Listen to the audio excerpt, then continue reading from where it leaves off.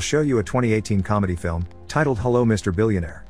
Spoilers ahead. Watch out and take care. Duo Yu Wang is a 37 year old goalkeeper for minor league soccer team Dashong, who hasn't had a very successful career. In the past few years, he's bitten an opponent and gotten kicked out of the game for it, played for a female team while pretending to be a woman, worked as a human sushi plate, and even modeled with no clothes for painters. When Mr. Jin calls him to have lunch with him, Duo Yu thinks he's about to be recruited to a more successful team, but it's actually exactly the opposite. Mr. Jin wants to pay him so Duo Yu will lose his next match on purpose, but he turns down the offer, explaining he dislikes fraud and for this, he won't allow the other team to make even one goal. When the day of the match comes however, Duo Yu gets cocky and distracted after catching just one ball, allowing the opposite team to score 5 goals against him. The other team's players even throw him up in celebration for having lost so easily to them. After being kicked out of the team, a depressed Duo Yu doesn't want to leave his apartment, but his teammate and best friend Chang Zhuang visits him and drags him out to take him to talk to the coach, promising he'll get his job back.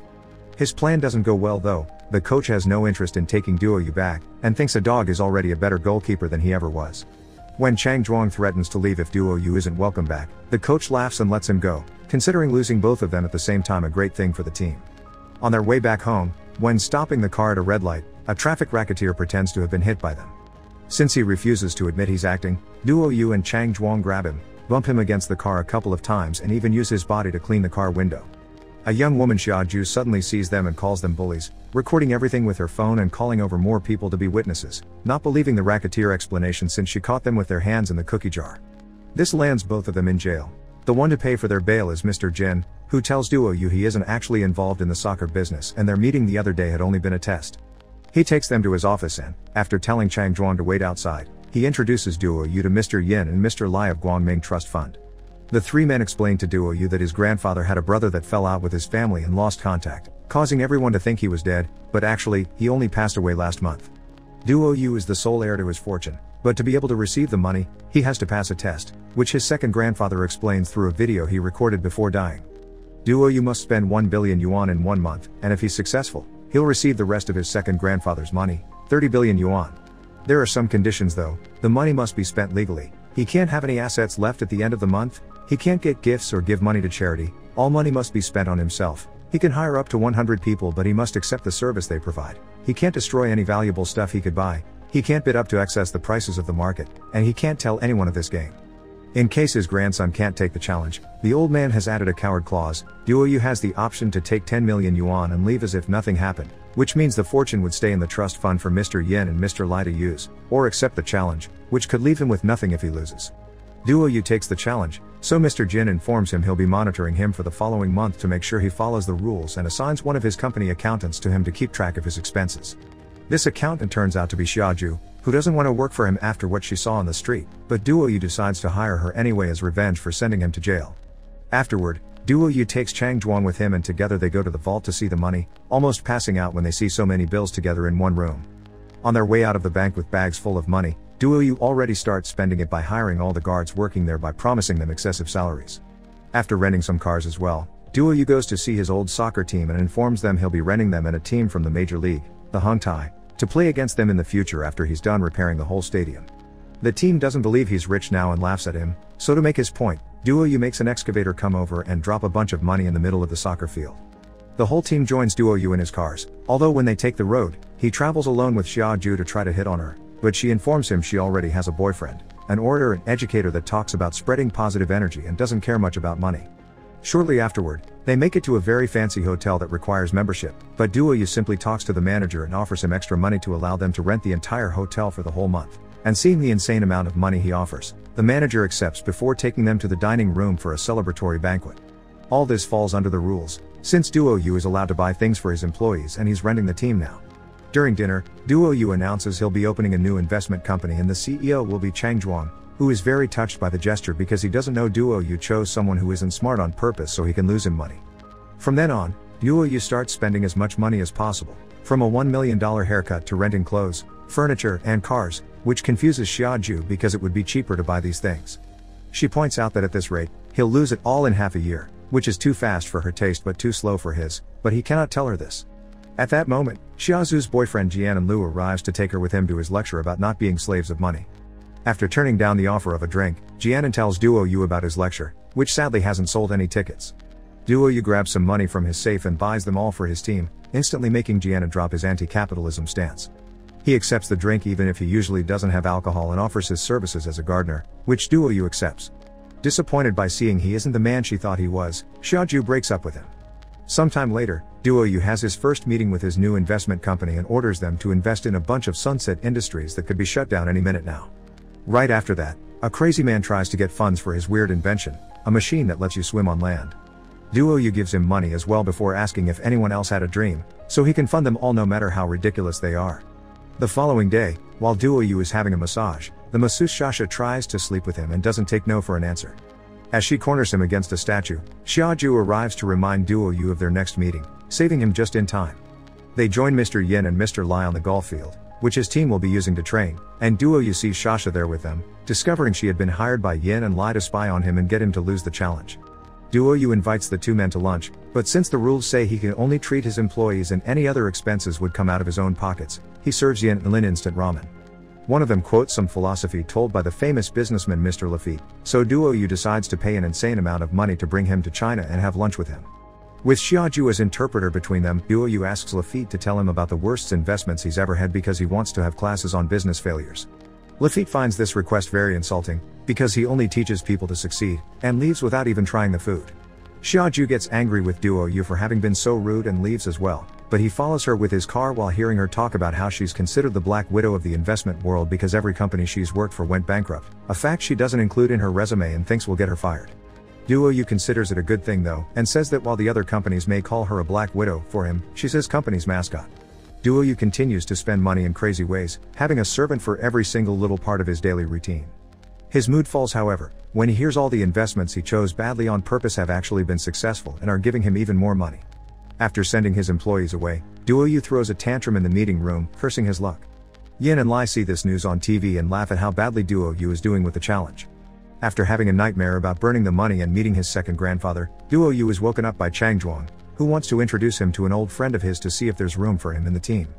As soon as Duo Yu sees the man with a bad eye and a cheap choice of clothes, he hires him on the spot. Feeling very grateful, Chang Zhuang promises they'll work hard and maybe one day they can celebrate with fireworks, giving Duo Yu an idea. Meanwhile, Xia Ju is spending her birthday alone in her apartment with a little cake she got for herself until Jianan shows up out of nowhere. After giving her flowers, he takes her cake and starts eating it without even asking for permission while telling Xia Ju he has an idea for a book in mind and he'd appreciate her asking Duo Yu for funds. Xiaozu's reply is smashing the cake on his face before kicking him out and going to see Duo Yu for some business matters. He doesn't let her talk about work tonight though, he just shows her the surprise he's prepared for her. Thousands of fireworks illuminating the sky all over the city. When Xia Ju mentions her birthday, Duo Yu pretends this is her present when he actually had no idea of the date. While she is quite touched by the gesture, she still tells him they can't date because they're from different worlds, and she'll only see him as an uncle or brother. Sometime later, Xiaoju discovers there are posters with her face all over the city that Duo Yu has put up to convince her to give him a chance. There also are ads on TV and the radio asking for the same thing. This puts the attention of the public on her, who follow her around to take selfies with her. She calls Duo Yu to take care of the problem but he just invites her to a concert instead of listening, so Xiaoju hangs up on him and takes a taxi while hiding her face. When the driver stops the car at the red light, the same traffic racketeer from the other day shows up and pretends to be hurt again, making Xiaoju realize Duo Yu hadn't been lying after all. Seeing him with new eyes, she arrives at the hotel and accepts Duo Yu's concert invitation, saying she'd like to know him better. The concert turns out to be a private affair in the hotel with her favorite singer. After dancing and taking pictures with him, Duo Yu takes Xiaoju out for dinner, then they play soccer with some kids at the park and have a lovely walk together by the river. Meanwhile, Yin and Lai call Jianan and hire him to help them make Duo Yu lose the challenge. Speaking of Duo Yu, he falls under more stress when he sees his soccer team partying instead of training and Chang Zhuang informs him the company has made another billion. After punching his friend, Duo Yu throws himself into the swimming pool to calm his nerves and while remembering everything he's learned so far, he gets an idea. After getting Mr. Jin's approval, he makes a special presentation at the mall announcing his new project, a fat insurance program. You only pay 1 yuan for it, and the company will pay you back for every gram you may lose.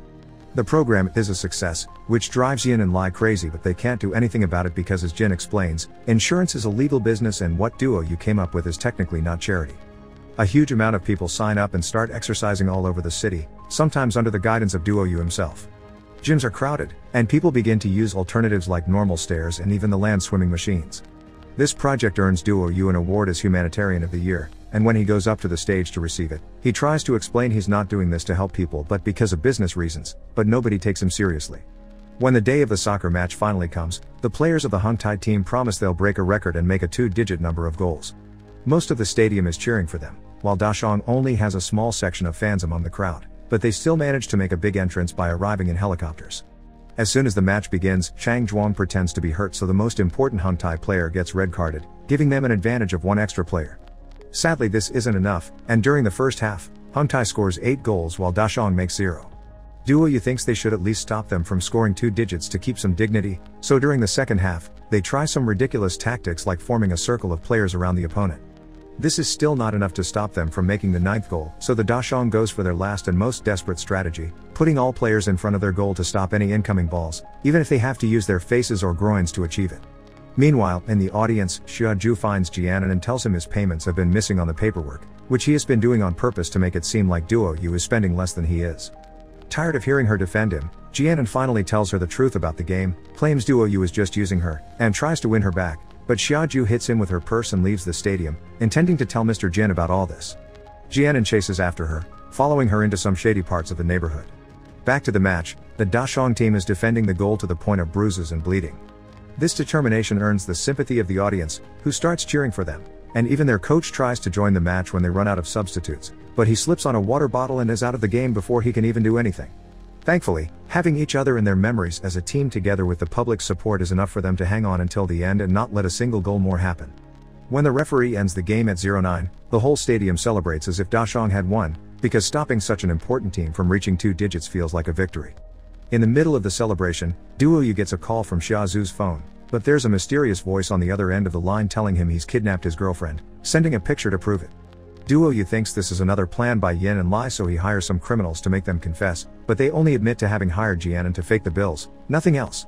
Duo Yu gets another call from the kidnapper then, showing him how he's pushing Jianan off the edge of a building and, and threatening to do the same to Xiaoju if he doesn't pay 10 million before 6 o'clock. Duo Yu now is in a difficult situation, because if he pays to save Xiaoju, he'd be breaking the rules of the game and lose his second grandfather's fortune. What he doesn't know is that this isn't real, it's the third and final test his grandfather left him, he has to prove he cares more about a human life than money, if he does, then he wins the challenge. Jianan and Xiaoju are fine, and the kidnapper is just Mr. Jin, who believes in Duo Yu and is sure he will come through. As the hours pass however, Duo Yu spends them drinking and singing at the karaoke and doesn't show up in time. At 6 o'clock, Mr. Jin and Xiaoju get ready to leave, feeling rather disappointed, but when they're about to take the stairs, they find Duo Yu crying with his bags of money, ready to exchange them for Xiaozu's life. Mr. Jin congratulates him on passing the test and plays the last message the grandfather left for Duo Yu, making him wonder how come he never got married or had kids when he was so rich. Mr. Jin reveals then he was the grandfather's significant other. Many months later, Duo Yu and a very pregnant Xia Ju come back from traveling around the world. Now they've enjoyed themselves enough, they're ready to donate all their money, but they interrupt their paperwork process when they realize they need to keep at least some for their future baby. The couple starts making a list of things they need, and while it starts pretty basic, it becomes filled with enough extravagant things that will end up with them donating nothing. Make sure to subscribe and turn on notifications so you can watch more videos like this. Thanks for watching.